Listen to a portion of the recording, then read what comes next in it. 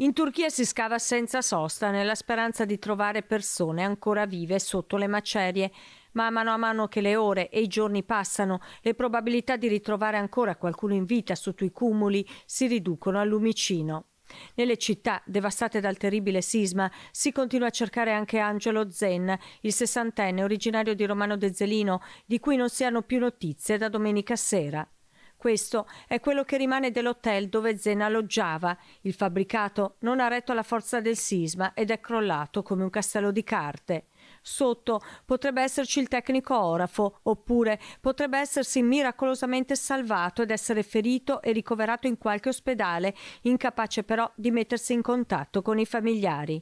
Anche le difficoltà nei collegamenti di certo non aiutano, mentre l'unità di crisi della Farnesina è in costante contatto con la Turchia.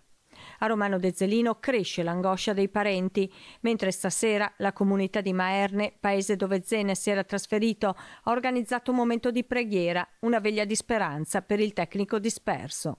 Presente anche il sindaco di Romano de Zelino, Simone Bontorin, in rappresentanza della comunità di Fellette, dove vivono i figli di Angelo Zen, Mirko e Leonardo.